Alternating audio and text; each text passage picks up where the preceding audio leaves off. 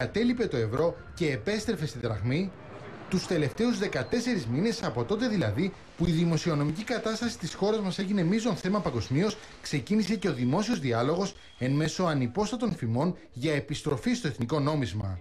Κορυφαίοι οικονομολόγοι από όλο τον κόσμο όπως ο Αμερικανός Πολ Κρούγκμαν ή ο Νουριέλ Ρουμπινί έσπευσαν να βάλουν πρόωρα τέλος στο ταξίδι της Ελλάδας στο ευρώ. Η Ελλάδα ίσως χρειαστεί να εξέλθει από το ευρώ και κυρίως να προβεί στην αναδιάρθρωση του χρέους, αναγκάζοντας τους πιστωτές της να συνενέσουν σε μεγάλες θυσίες. Το σχέδιο σωτηρίας της Ελλάδας μεταθέτει απλώς το πρόβλημα. Μιλώντας στους νέους φακέλους τον περασμένο Ιούνιο, ο Γερμανός οικονομολόγος Ιωακίμ Σταμπάτη υποστήριζε τη λογική του no bailout. Ότι δηλαδή μια χώρα της Ευρωζώνης δεν μπορεί να διασώσει άλλη χώρα πληρώνοντας τα χρέη της. Θα έπρεπε κανείς να σκεφτεί αν θα ήταν καλό η Ελλάδα να επιστρέψει στην ελληνική δραχμή, να την υποτιμήσει και να ξαναγίνει έτσι ανταγωνιστική. Για παράδειγμα, στον τουρισμό. Εφόσον είναι άδεια τα ξενοδοχεία σας, είναι σημαντικό να τα γεμίσουν ξένοι τουρίστες. Όλες αυτές οι φήμες και οι προτάσεις για έξοδο από το ευρώ πάντως αποτελούν για την πλειοψηφία των οικονομολόγων ένα εφιαλτικό σενάριο ή ένα κακόγουστο αστείο. Ειδικά για την περίπτωση τη Ελλάδος, η υποτίμηση αυτή θα ανέρχεται σε ένα ποσοστό μεγαλύτερο του 30%. Αυτό θα τροφοδοτήσει τον πληθωρισμό με αποτέλεσμα να μειωθεί η αγοραστική δύναμη των μισθωτών και των συνταξιούχων. Στη συζήτηση αυτή ενεπλάκησαν και Έλληνες πολιτικοί όπως ο Παναγιώτης Λαφαζάνης από το ΣΥΡΙΖΑ και ο Γεράσιμος Γιακουμάτος από τη Νέα Δημοκρατία, οι οποίοι δεν βρίσκουν αρνητικό το ενδεχόμενο επιστροφής στο εθνικό μας νόμισμα. Αν η Ελλάδα φύγει από την Ευρωζώνη, θα της επιτρέψει να ανατάξει την οικονομία της, θα της επιτρέψει να γίνει ε, πιο ανταγωνιστική, να σταθεί καλύτερα στην παγκόσμια ε, οικονομία και θα της επιτρέψει επίσης να αρχίσει να, δημιουργήσει, να, να δημιουργεί θέσεις εργασίας, ε, να αρχίσει να δημιουργεί υψηλότερα εισοδήματα κτλ. Η πλειοψηφία των οικονομολόγων πάντως υποστηρίζουν πως η χώρα μας με τη δραχμή ω νόμισμα θα δέχεται μεγάλες πιέσεις από τις διεθνείς αγορές, ενώ η Τράπεζα της Ελλάδας θα αυξήσει σημαντικά τα επιτόκια της. Εν συνεχεία, το δημόσιο χρέος αναμένεται να διωγγωθεί, αφού πλέον θα πληρώνεται με πληθωρικές δραχμές, ενώ θα υπάρξει και αδυναμία πληρωμών του ελληνικού κράτους. Μεγάλα θα είναι το ποσοστά της κερδοσκοπίας από τα εισαγόμενα προϊόντα, καθώς η χώρα μας σε ορισμένα είδη υπερβαίνει το 50% στις εισαγωγές. Μπορούμε να κηρύξουμε και πτώχευση πηγαίνοντας στη δραχμή.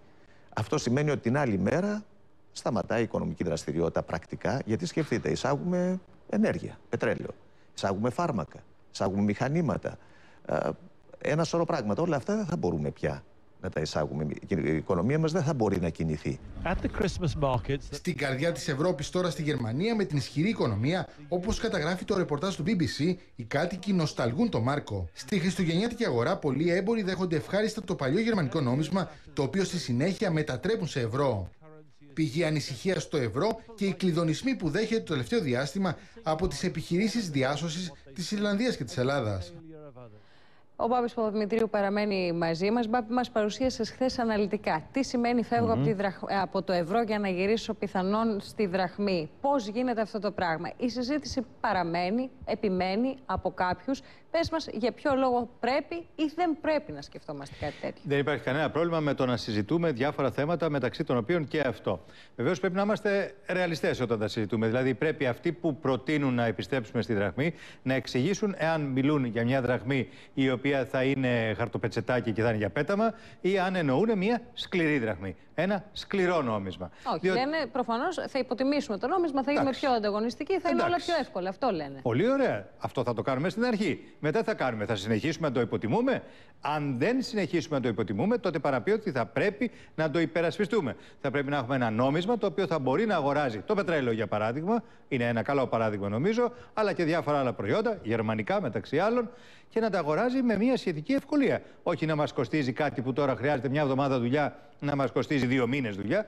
Λοιπόν, άρα πρέπει να πάμε, και αυτό θα μας πούνε τότε, σε σκληρή δραχμή. Ποιος είναι ο πιο εύκολος δρόμος, Να έχεις ένα ευρώ για το οποίο φροντίζουν άλλοι περισσότερο από ότι εμείς. Αυτό αποδείχθηκε. Να είναι ένα καλό νόμισμα και να αγοράζει κάτι εύκολα, να είναι ένα ακριβό νόμισμα, ή να προσπαθεί να το πετύχεις μόνος σου; Φοβάμαι ότι η συνταγή και το μνημόνιο που θα χρειαστεί σε περίπτωση που πάμε στην δραχμή για να έχουμε μια δραχμή η οποία δεν θα κατρακυλά συνεχώς, να έχουμε μια σκληρή δραχμή, θα είναι πολύ σκληρότερα, πολύ χειρότερα, πολύ πιο κακά για τον, για τον πολύ κόσμο, για τους πολλούς, από ότι είναι το να μείνουμε μέσα στο ευρώ. Καλύτερα λοιπόν κάτω από την ομπρέλα του ευρώ. Απολύτως. Νομίζω ότι κάτω από την ομπρέλα του ευρώ τα πράγματα είναι καλύτερα και ευκολότερα για τους πολλούς και ευκολότερα για τους Έλληνες.